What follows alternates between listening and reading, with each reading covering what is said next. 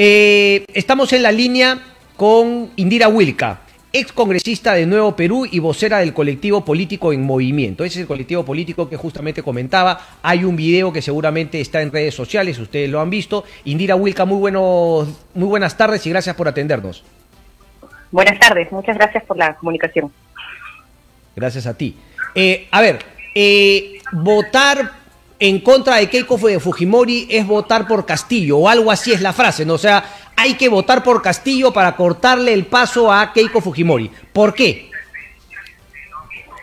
Bueno, hay varias razones. Yo empezaría diciendo, Cristian, que es porque estamos ante un proyecto que lo que está buscando, en sus propias palabras, es reeditar el proyecto fujimorista de los años 90, un proyecto dictatorial, ¿no? Yo no puedo entender entonces que se quiera ahora tan tranquilamente equiparar a la señora Fujimori este, con la democracia, ¿no? Como si ella no estuviera en estos momentos reivindicando todo lo que fue la dictadura del señor Fujimori y como si nosotros no hubiéramos sido testigos, Cristian, estos últimos tres o cuatro años de su propio liderazgo nocivo, ¿no? Al frente de una bancada mayoritaria. Creo que esa es una de las primeras ideas que, que te puedo decir cuando, cuando eh, hacemos esta, esta afirmación respecto a nuestro voto, ¿no? Creo que eso es una, una idea central, ¿no?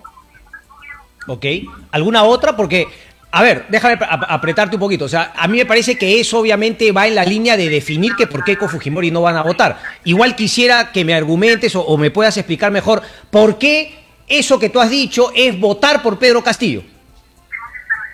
Bueno, y lo segundo es que estamos ante una segunda vuelta, ¿no? En la que, digamos, no estamos eh, los ciudadanos que no somos parte de alguno de esos eh, partidos o, cercanos a esas candidaturas, definiendo si nos sumamos a ellas orgánicamente, no estoy definiendo si voy a construir una alianza electoral como se puede hacer en primera vuelta. Estamos en ese momento en el que hay que decidir, ¿no? Alguna de estas opciones va a ganar. Y yo creo que, además de las razones que ya te he mencionado, que que tienen que ver con sobre todo poner sobre la mesa lo que realmente significa el fujimorismo, y tal vez he enfatizado en ello, Cristian, porque lo que yo he percibido en estas semanas es increíble, ¿no? Es eh, el blanqueamiento del fujimorismo y de lo que la señora Keiko representa, como si fuera pues casi una, una demócrata carreta cabal. Pero además, eh, Cristian, el otro elemento que bien tú también preguntas, es que al señor Castillo se le está intentando presentar pues casi como una especie de terrorista, ¿no? De, una, una, un personaje que ha salido de, de, alguna especie de, de, página policial, ¿no? Y que es un peligro y casi... No creo, ¿no? ¿Quién, quién, quién o a ver, yo, yo, te voy a explicar ¿O te estás refiriendo, por ejemplo, a las notas de Guillermo Bermejo, a, las notas del señor Pariona, o, o, o, por ahí también lo vinculado a, este, ¿no? a, a Vladimir Cerrón? Ya, y lo que yo creo, Cristian, es su apreciación, y me parece muy bien que tú la compartas con la audiencia, es que el señor Castillo, nos guste no, ha representado en la primera vuelta la expresión de una ciudadanía que demanda cambios. Eso es increíble que en menos de un mes esa decisión que más de dos millones y medio de personas tomaron con lo que el señor Castillo representa y con lo que el señor Castillo ha este ha comunicado en plazas y en otras actividades, de pronto no valga de pronto no exista. De pronto esa votación de 2.7 millones de personas simplemente es equivalente al terrorismo. O sea, la gente, y lo digo por lo que estás tú diciendo, o sea, casi la, lo único que expresa el señor Castillo es esa equivalencia con el terrorismo, que para empezar me parece ridículo. Pero no, pero yo justamente lo que ha dicho es contradecir. A mí lo que me parece es que estás exagerando. La información que hayan sacado ah. de Pariona de Guillermo Bermejo no debería tocar al señor Pedro Castillo.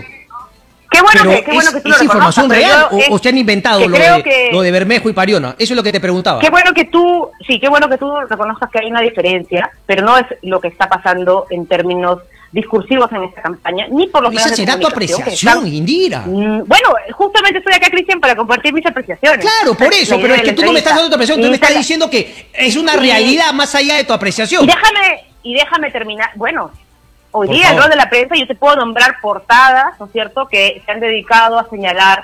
Vamos, vamos a esas, nómbramelas, por favor. es el comunismo? Bueno, en Perú 21, hace unos días, ¿no es cierto?, otra vez. Correcto, desde acá yo he criticado, desde acá yo he criticado a, a, ¿cómo se llama?, a Cecilia Valenzuela.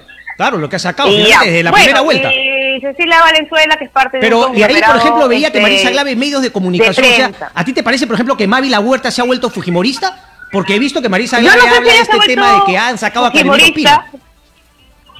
Bueno, eso ha pasado, ¿no es cierto? O eso también lo vamos a ocultar. Sí, claro. Que en medio de una campaña electoral tan apretada... Ese, es un hecho, que le han sacado. Salga, un dueño de comunicación, ¿no es cierto?, que es el señor eh, Mome, a decir que horas después top, top, de que ahora lo que él dice se lo creemos a Pero, pero vamos a volver, quiero volver a la primera parte entonces de su pregunta. Por favor. Cristian. Yo sí creo que detrás de este, la candidatura del señor Castillo, o lo que él representa, hay una demanda legítima de cambio que es algo que usualmente en nuestro país se expresa en estas segundas vueltas. Y es algo que lastimosamente también, Cristian, termina siendo traicionado, termina siendo canjeado, y creo entonces que si vamos a debatir, pongamos los términos eh, también más claros sobre la mesa. No es esto una confrontación como lo ha dicho, por ejemplo, como lo está intentando instalar la señora Keiko Fujimori, ella, su mensaje principal es eh, comunismo o democracia, o terrorismo y democracia. Y evidentemente el terrorismo y el comunismo son los que no están con ella y la democracia es ella. Entonces me parece increíble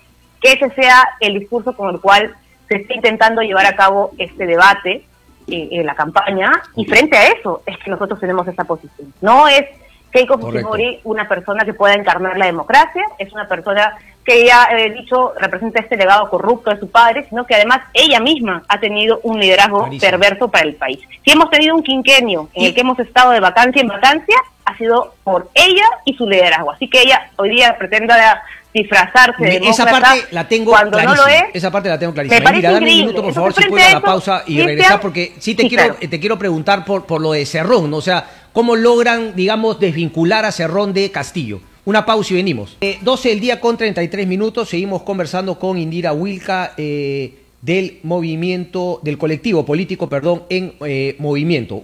La frase es desde el movimiento. Tenemos claro que nuestro deber en esta segunda vuelta electoral es frenar a la mafia fujimorista. Por ello decidimos votar por Castillo y haremos la lucha activa y ciudadana en las calles, movilizándonos ante la amenaza enorme del fujimorismo en el poder. Eh, Indira, yo te quería preguntar justamente porque, claro, el alejamiento o, el alejamiento con Verónica Mendoza eh, vino justamente cuando Verónica se, se junta con Vladimir Cerrón, eh, no, ustedes deciden finalmente no apoyar. Entonces, ahora, digamos, ¿cómo llegan a, un acuerdo entre ustedes respecto del vínculo entre Pedro Castillo y Vladimir Cerrón, Perú Libre? A ver, Sí, Cristian, efectivamente tú has recordado esa, esa decisión que tomamos y yo lo que te podría decir nuevamente, no estamos decidiendo criterios para hacer una alianza electoral. De hecho, nuestro, nuestra organización y movimiento no ha planteado hacer una alianza electoral con, con el señor Castillo. Lo que yo sí te podría decir es que mis diferencias con el señor Cerrón no han cambiado yo no las oculto y además no solamente no las oculto, seguramente seguiremos disputando respecto a estos temas en un escenario en el que el señor Castillo probablemente salga elegido. Ojalá sea así, ojalá que eso suceda, ¿no? Pero yo creo que en la medida en la que ese señor es alguien que dirige un partido, pero tiene un impedimento de ejercer un cargo público, él no, tiene eh, realmente un rol en un eventual gobierno, ¿no? Es una primera cosa que yo quisiera anotar.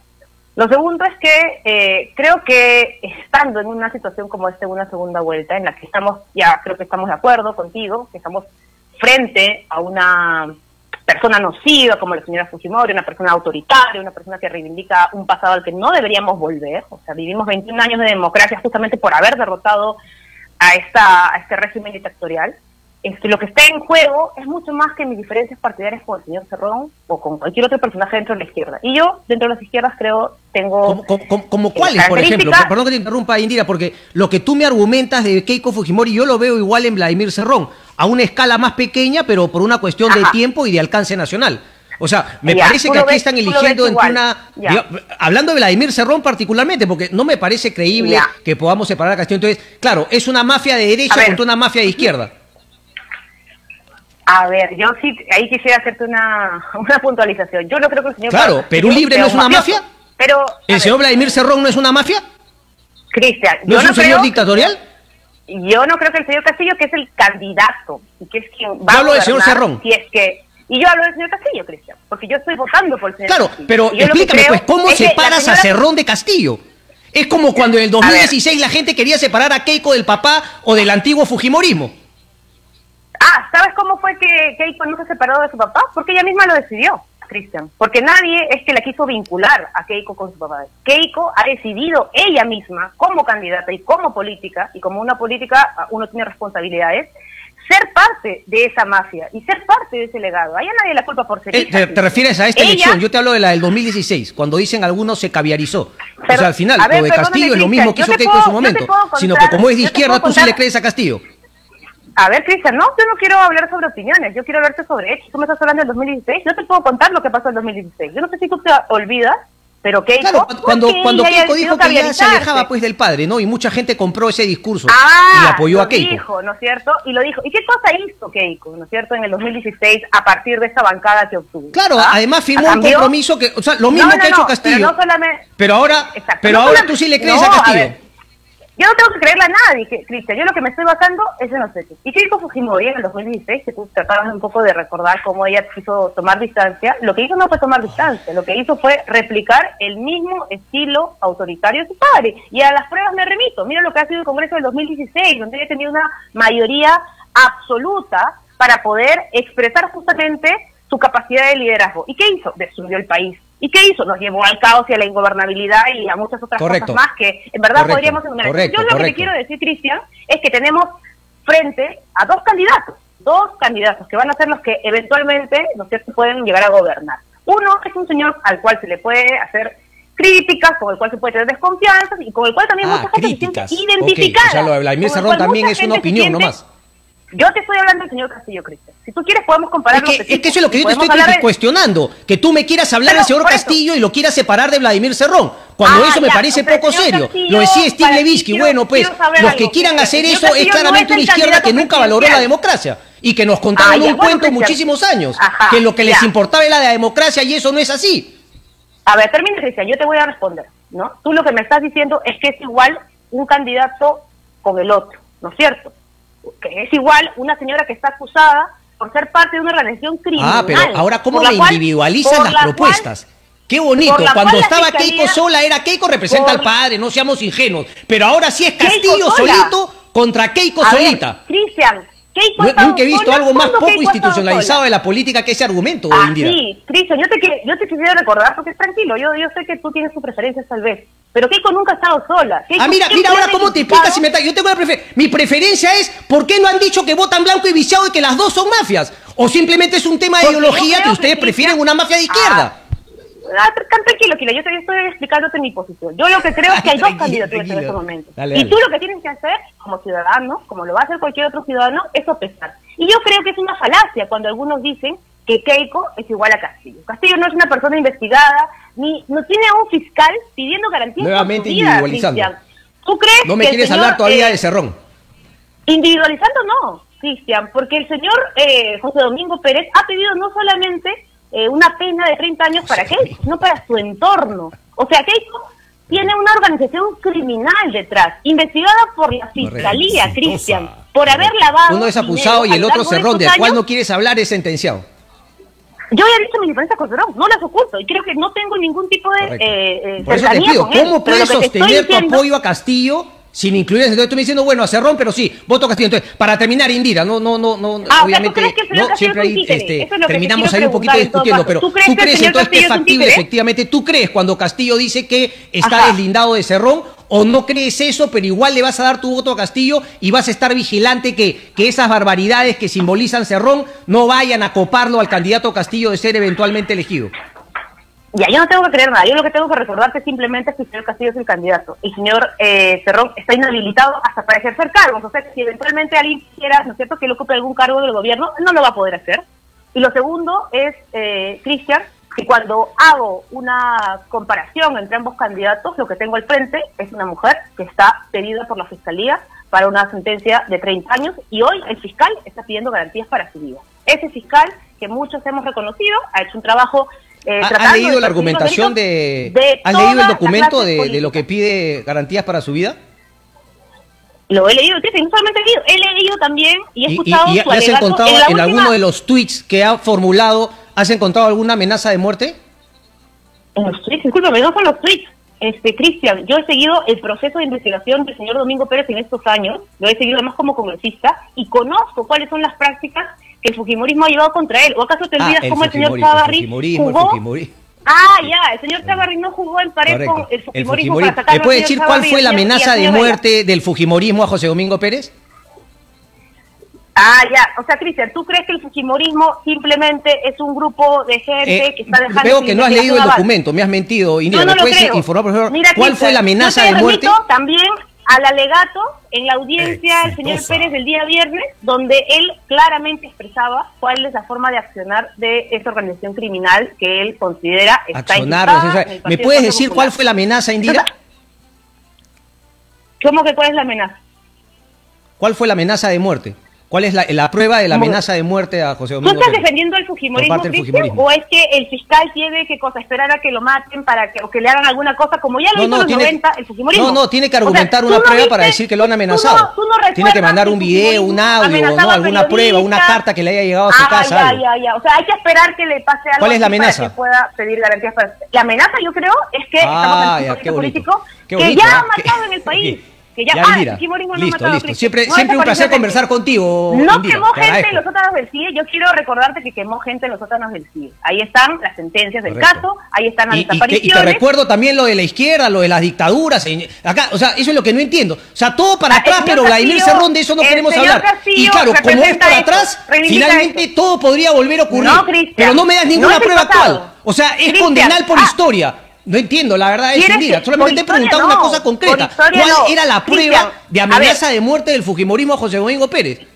Yo ¿Quieres puedo yo coincidir, recuerde quién es el son matones, abusivos, autoritarios, son unas bestias. Ay, ay, Solo ay. te he pedido la prueba. Ya. O sea, tú No crees hay que el prueba. ¿Qué vas a esperar? es Que haya prueba. Bueno, Es el pasado. en movimiento. ¿Quién es el plan de gobierno del Fujimorismo? Toda la, el Fujimorismo de los 90 se está hoy día con Diego Fujimori. Así que, bueno, Cristian, ahí Correcto. está su prueba. ¿Tú viste ¿no? el video pasado. cuando Castillo amenaza con el machete a Basombrío, vente para acá? ¿Te pareció una amenaza de muerte? Porque Amenaza amenaza de de muerte muerte. también, por ejemplo, la de López Aliaga, pero en el caso del señor eh, José Domingo, pero bueno, en verdad nos estamos quedando en una discusión que, que Pero qué bueno que lo por lo de López Aliaga. Yo sé bueno, si tú lo has condenado, pero yo sí lo he expresado. No me parece que nadie deba correcto. Aquí también yo lo he condenado, una electoral. bestialidad. Una bestialidad que debería ser eso. Finalmente sancionado Fujimori políticamente. no lo Sí, debería ser sacado de la carrera. Fujimori lo que Pero lo que no entiendes hasta ahora te he pedido una prueba, José, pero bueno, es la argumentación. Una prueba. Indira, palabras finales, por favor, no me quiero quedar con la palabra en la boca yo. Sí, no, no, tranquilo, Cristian, yo te entiendo. Eh, yo simplemente lo que creo es que esta elección, como digo, no tiene que ver con estas cuestiones de miedo, con estas caricaturas que se quieren hacer desde la prensa.